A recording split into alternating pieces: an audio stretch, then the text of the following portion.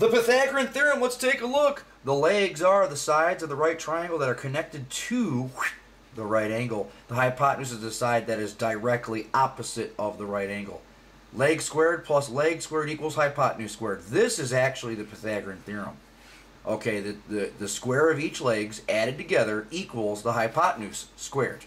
Okay, commonly called this. All right.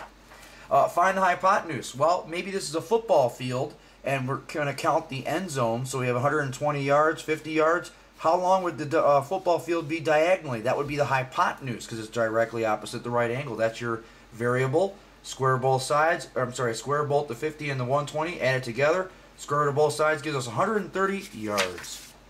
Find the length of the one of the legs. Well, here would be the leg, right? Because that's the height of the flagpole, perhaps.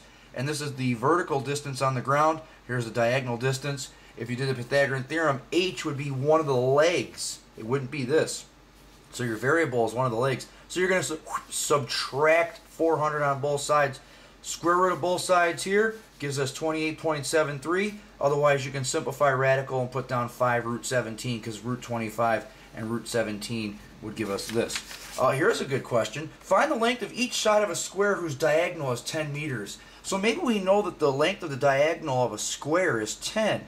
Okay, they want us to find the length of each side. Well, therefore, x and x. That gives us a right triangle. x squared plus x squared equals 10 squared. 10 is the hypotenuse. Now, here's where things get goofy for people. Add the like terms together, 2x squared. This becomes 100. Divide by 2, then do the square root of both sides right over here. You get 7.07 meters or root 25 root 2, which is 5 root 2. Okay, so this would be how we would find um, the length of each side of a square. And if you have any other questions, please do uh, send me an email. And of course, good times.